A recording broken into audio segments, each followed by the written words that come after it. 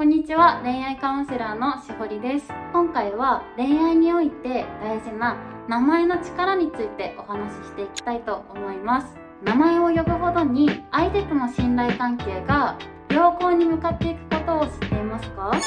例えば〇〇さんおはようございます。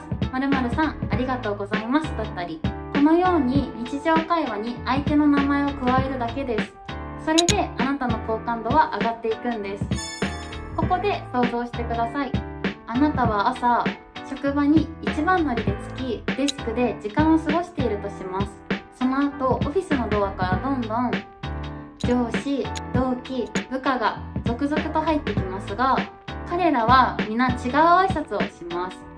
そこで「おはようございます」と挨拶する人が多い中「お〇〇さんおはよう」という上司「〇〇さんおはようございます」と後輩が声をかけてきてくれたらどうでしょうか？どんな気持ちになりますか？名前を冒頭につけられるだけで単純に嬉しい気持ちになりませんか？その人たちはとりあえず自分の敵ではなさそうですよね。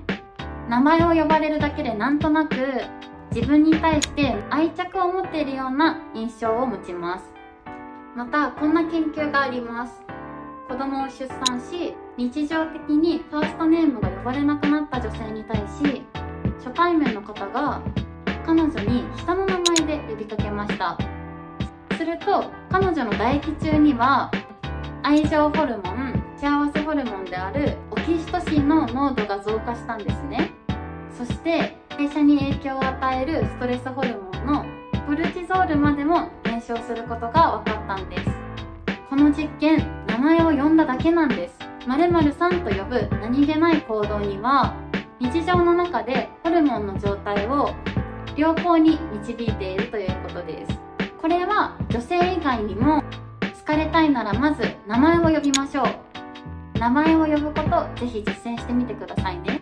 この動画が良かったらチャンネル登録高評価お願いします。バイバーイ。